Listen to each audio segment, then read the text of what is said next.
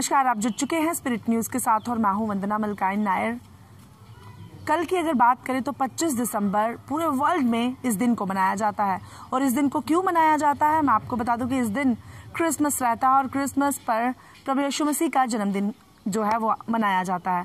इस दिन प्रभु यीशु मसीह का जन्म हुआ था और इस दिन को लोग बहुत ही धूमधाम के साथ मनाते हैं। ना सिर्फ़ ईसाई धर्म के लोग, बल्कि वर्ल्ड में जाति जाति के लोग इस दिन को मनाते हैं।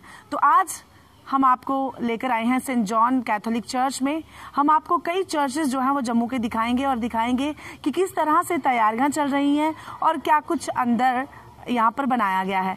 मैं आपको बता दूँ कि कोविड 19 के चलते कई तरह की इस बार परेशानियाँ तो आ रही हैं, लेकिन आस्था के आगे कोई भी बीमारी नहीं टिकती है। तो चलिए अंदर चलकर देखते हैं कि किस तरह से यहाँ पर तैयारियाँ की गई हैं। तो चलिए हर एक चर्च में अलग अलग तरह से तैयारियाँ की गई हैं। हर एक चर्च में अलग अलग तरह से डेकोरेशन की गई है।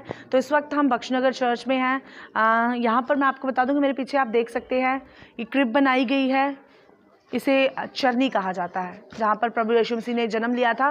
ये सिर्फ़ बनाकर दर्शाया गया है कि किस तरह से उस वक्त क्या कुछ माहौल था, किस तरह से प्रभु यीशु मसीह ने जन्म लिया।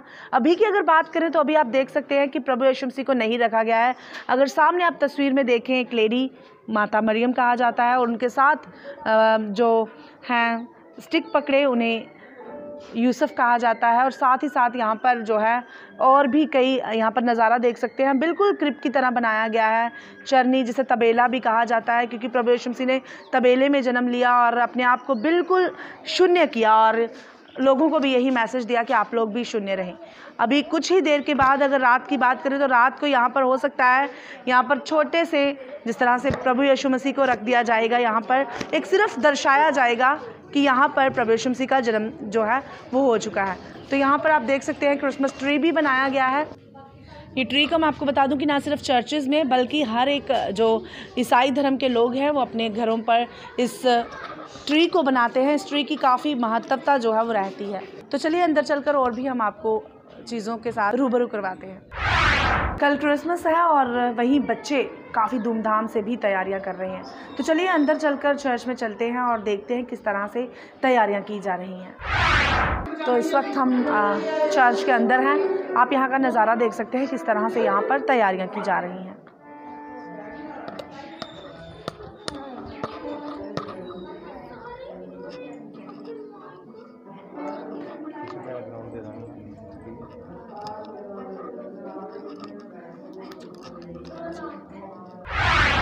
आप यहाँ पर देख सकते हैं, यहाँ पर प्रभु यीशु मसीह का जब जन्म हुआ था तो इस तरह से कुछ उन्हें रखा गया था तो वही चीज़ यहाँ पर दर्शाई गई है। चर्च के बिल्कुल जो है, यहाँ पर जो फादर हैं, वो यहाँ पर वचन को देंगे, प्रवचन को देंगे तो यहाँ पर उन सब चीज़ों को दर्शाया गया है। कुछ ही देर के बाद मैं आपको बता दूँ कि नाइट प्रेयर मीटिंग होगी, नाइट सत्संग होगा, जब प्रभु यीशु का बारह बजे जन्म होगा तो ईसाई धर्म के लोग काफ़ी धूमधाम से इस दिन को मनाएँगे।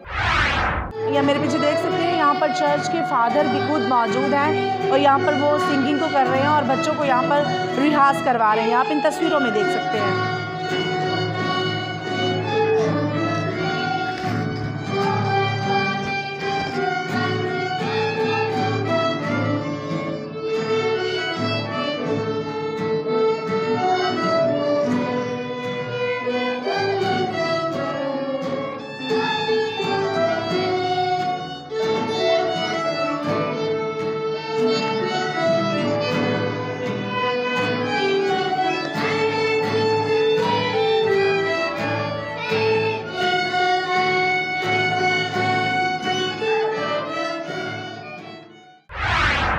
इस वक्त हमारे साथ मौजूद हैं फादर सातुर नीनो। इनसे बातचीत करते हैं कि क्या कुछ कहना है इनका। फादर क्या मैसेज देना चाहेंगे? कल क्रिसमस है और आज किस तरह से तैयारियाँ की जा रही हैं? क्या कोविड नाइन्टीन के चलते कुछ परेशानियों का सामना करना पड़ा या नहीं? तो पहले मैं सबको विश करता हूँ हैप्पी क्रिसमस और ऐसा है हमारा प्रोग्राम कि हम रात को कुछ एक कल्चरल प्रोग्राम से शुरू करते हमारे क्रिसमस का प्रोग्राम और उसके साथ फिर प्रार्थना। और मेरा संदेश ये है कि हमारा खुदा आदमी बन के आया, आदमी के रूप में जन्म लिया और उसका नाम है यीशु मसीह। और उसने हमको सिखाया कि कैसे हमने गरीबों को और बीमारों को हमने सेवा करना है, जैसे यीशु मसीह गरीब होके जन्म लिया। और ये मेरा कहना है कि हम सब भाई बहनों एक साथ रह के हमारे जीवन हम बीते। जी। बहुत बहुत धन्यवाद। तो चलिए और भी चर्चेज़ में हम आपको लेकर चलते हैं। अभी हम बख्शनगर में थे, अब और भी जम्मू के कई जो मशहूर चर्च है, वहाँ पर लेकर चलते हैं। इस वक्त हम आपको लेकर आए हैं Saint Peter's Catholic church, Premnagar में। और यहाँ पर अगर बात करें रौनक की तो रौनक काफ़ी जमी हुई है। अभी बात करें अगर क्रिसमस की तो क्रिसमस कल है। लेकिन अभी फ़िलहाल लग रहा है कि क्रिसमस अभी शुरू हो चुका है। क्रिसमस की इतनी धूमधाम है कि हर तरफ़ जो है रौनक ही रौनक बंधी हुई है। मैं आपको बता दूँ कि कहीं पर संगीत लगाए गए हैं, कहीं पर लोग तैयारियाँ करते हुए नज़र आ रहे हैं, कहीं पर सेंटा बनाए गए हैं। आप देखें, यहाँ पर सेंटा क्लॉज को बनाया गया है और मैं आपको बता दूँ कि हर एक जगह पर अलग अलग तरह के सेंटा को बनाया गया है। यहाँ पर अगर आप सेंटा देखें, हाथ में सेक्सोफोन पकड़ा हुआ है, ऊपर अम्ब्रेला जो है वो दिया गया है और काफ़ी खूबसूरत तरीके से बनाया गया है। बैलून का काफ़ी महत्व रहता है। बैलून के साथ क्योंकि जन्मदिन हो और बैलून ना लगाए जाएँ तो ये बात जमती नहीं। यहाँ पर प्रवेश के जन्मदिवस पर हर तरफ़ बैलून ही बैलून लगाए गए हैं। काफ़ी धूमधाम से लोग इस दिन को मना रहे हैं। चलिए, अब हम आपको चर्च के अंदर के दृश्य बताते हैं कि किस तरह से इस चर्च में डेकोरेशन की गई है। तो अब हम आपको चर्च के अंदर ले आए हैं। चलिए, चर्च के अंदर की तस्वीरें दिखाते हैं। काफ़ी खूबसूरत तरीके से यहाँ पर चर्च को सजाया गया है और कई युवा यहाँ पर अभी तक चर्च की डेकोरेशन कर रहे हैं। आप इन तस्वीरों में देखें।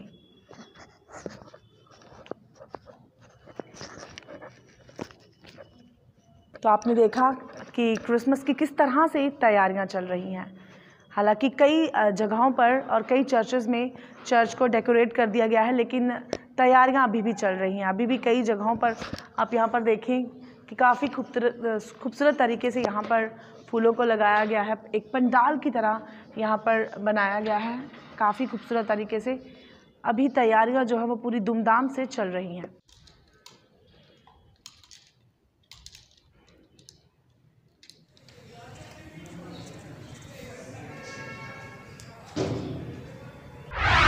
इस वक्त प्रेमनगर चर्च के फादर हमारे साथ मौजूद हैं फादर कुरियोकोस जी। चलिए इनसे बातचीत करते हैं कि क्या कुछ आज ये संदेश देंगे किस तरह से तैयारियाँ हैं क्या कोविड नाइन्टीन के चलते कुछ परेशानियों का सामना करना पड़ा या फिर इस वक्त इस बार किस तरह का बड़ा दिन है। फादर सबसे पहले आपका बहुत बहुत स्वागत जी क्या कहेंगे? या मैं क्रिसमस की तैयारियाँ हम चल रहे हैं लेकिन जब हम देखते हैं बीते हुए सालों से बढ़कर इतना ईस्मानी तौर पर इतना ज़ोरदार से नहीं कर रहे, क्योंकि कोविड नाइन्टीन की वजह से। लेकिन ईस्मानी तौर पर, रूहानी तौर पर हम ज़्यादा मज़बूत है, क्योंकि ज़्यादा प्रार्थना इस बार चर्चों में राम पर जागरण किया गया है, ताकि परमेश्वर की मेहरबानी से, यीशु की आशीष से ये बीमारी दुनिया से घट जाए। जैसे आप जानते हैं 25 दिसंबर पूरा दुनिया भर में, बीते सालों में बड़ा धूमधाम से खुशी नाल सभी धर्म के लोग मिलकर ये त्यौहार मनाते रहे क्योंकि इसका एक मतलब है, सिर्फ़ ईसाई लोग अकेले क्यों नहीं मना रहे? सभी लोग मनाते क्योंकि यीशु ने बताया था, मैं पूरा मानव जाति के लिए दुनिया पर आया हूँ। हम मानो ना मानो, यीशु पूरा मानव जाति के लिए आया। और हम कोई जाति भेद नहीं है। दूसरी बात, क्रिसमस इस बार हम मनाने के वक्त हम लोग याद दिला रहे हैं। ये दुनिया में अभी भी शांति की कमी है, प्यार की कमी है, भाईचारा की कमी है। ये समस्या एक्चुअली ये दुनिया में आए दे 2020 साल पहले, शांति का पैगाम लेकर। इस बार भी हम प्रभु यीशु के जन्मदिन के मुबारक के ऊपर क्लास प्रार्थना चर्च में रखा गया है, ताकि हमारे दिलों में, परिवारों में, समाज में, देश में, पूरा दुनिया भर में शांति और अमन हो जाए। अभी एक और साल ख़त्म हो गया नवा साल में अब ख़त्म टिकने वाला है। अभी एक एक दिन आगे बढ़ते जा रहे हैं। हम अपने जीवन में नज़र मार कर देखना है, मेरे ज़िंदगी में क्या हो रहे हैं। अभी पूरी दुनिया में देख लो, हमारे परिवारों में देख लो, समाज में देख लो शांति की बड़ी कमी है। आपस में प्यार मोहब्बत कम हो गया, भाईचारा कम हो गया। इसलिए तो इस बार हम खास रूप से चर्चों में, चर्च में एक ही प्रार्थना रखा गया है। अमन और शांति के लिए। क्रिसमस के मुबारक मौके पर मैं आप सबको क्रिसमस के बधाइयाँ देता हूँ। And wish you merry Christmas and happy new year God bless you all thank you father तो चलिए, अब हम आपको और भी कई चर्चेज में लेकर जाते हैं जो जम्मू के मशहूर चर्चेज हैं। तो इस वक्त हम आपको लेकर आए हैं इंडियन नेशनल इवेंजलिकल चर्च उस्ताद मोहल्ला में। अक्सर आप आते जाते इस चर्च को ज़रूर देखते हैं और ये हमेशा ही सजा हुआ आपको नज़र आता है और कई लोग यहाँ पर माथा टेकते हुए नज़र आते हैं। अगर दूसरे धर्मों की बात करें तो चलिए अंदर चलकर देखते हैं कि इस चर्च की किस तरह से तैयारियाँ हैं और क्या कुछ कहना है यहाँ के फादर का या प्रीस्ट का।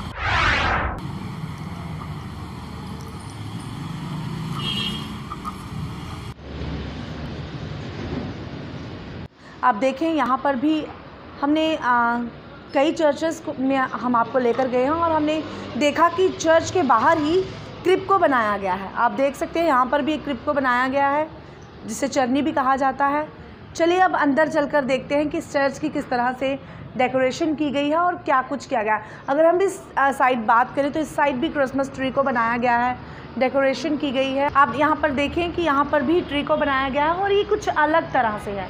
आप देख सकते हैं बिल्कुल डिफरेंट बनाया गया है, लेकिन अगर बात करें क्रिसमस ट्री की तो उसी शेप में बनाया गया है। अगर ऊपर आप देखें स्टार तो स्टार का भी एक महत्व रहता है, क्योंकि जब प्रभु यीशु मसीह का जन्म हुआ था तो उनका दर्शन करने के लिए दूर दूर से मजूसी गजरिए जो है, वो आए थे और सोना, मोर, लुबान लेकर आए थे और वो एक स्टार के सहारे से ही प्रभु यीशु मसीह तक पहुँच पाए थे, जिस जगह पर उनका जन्म हुआ था। तो चलिए, अब हम आपको अंदर लेकर चलते हैं। अंदर की तस्वीरें भी दिखाते हैं कि किस तरह से अंदर जो है, तैयारियाँ की गई हैं।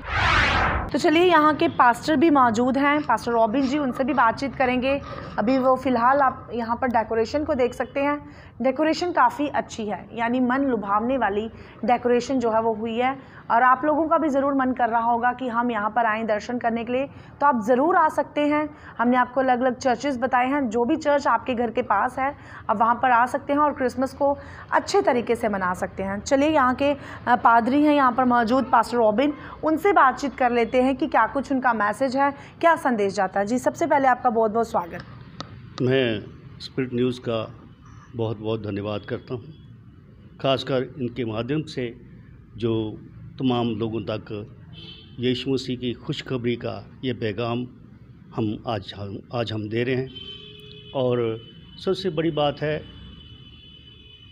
इसके लिए भविष्यवाणियाँ यीशु मसीह ने, यीशु मसीह के लिए भविष्यवाणियाँ पहले हुई। जैसे यशाया में ये बात कही गई है कि तुम्हारे लिए एक लड़का उत्पन्न होगा और उसका चिन्ह क्या होगा? तुम एक कवारी के कुंवारी के पास उसको कपड़े में लिपटा हुआ देखोगे। और ये एक चिन्ह है खुद चौदह सौ साल पहले जो यीशु मसीह के बारे में बताया गया। इसलिए खासकर उसका जन्म अद्भुत है और उसका मरना भी अद्भुत है। प्रभु यीशु मसीह का सबसे बड़ी बात है कि यीशु मसीह के आने से जो ईस्वी है, वो बदल गई। अब यीशु मसीह जो है, वो ज़िंदा हैं और हमारे बीच में मौजूद हैं, क्योंकि अदृश्य रूप में वो हमारे, हमें यही संदेश देखते हैं। जैसे उन्होंने कहा एक दूसरे के साथ प्यार करो।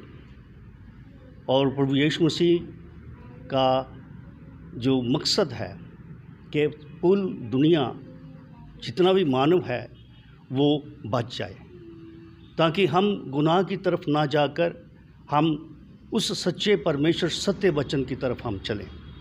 वो सत्य वचन क्या है? क्योंकि ये परमेश्वर ने जगत से ऐसा प्रेम किया कि उसने अपना इकलौता पुत्र दे दिया ताकि जो कोई उसके ऊपर विश्वास करे वह नाश ना हो बल्कि हमेशा का जीवन पाए। तो हमेशा का जीवन अगर आप चाहते हैं इस इंसान की उम्र जो है सत्तर नहीं तो अस्सी साल है और उससे कुवत हो तो ज़्यादा भी हो सकती है। मगर आखरत इस देह को फना होना है और फना होने से पहले हमें अपने आप को खुदा के अधिकार में देना है और उसका मैसेज भी यही है। कि हमें बुराई को छोड़कर अच्छाई की तरफ़ चलना है। आखिरत में खासकर आप सबको इस जयंती के शुभ अवसर पर आप सबको मुबारक देते हैं। ये बड़े दिन जो है, आप सबके लिए खुशियों का त्यौहार बन जाए। प्रभु आपको बड़ी आशीष दे। धन्यवाद। Merry Christmas.